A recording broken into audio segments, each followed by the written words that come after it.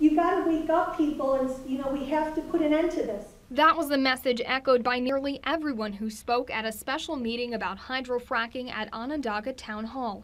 The meeting gave neighbors a chance to voice their opinions about allowing fracking in the town. Only one who spoke did not see a problem with fracking. How do they know? I have never read a report that hydrofracking has done anything that's harming people. Others saw it differently. I think we're jeopardizing our health if we um, allow fracking to go through because there's too many carcinogenic chemicals that are used. It's emitted into the air. What kind of legacy are we leaving for our children and our grandchildren? Where are they going to live? When the gas runs out, then what are we going to do?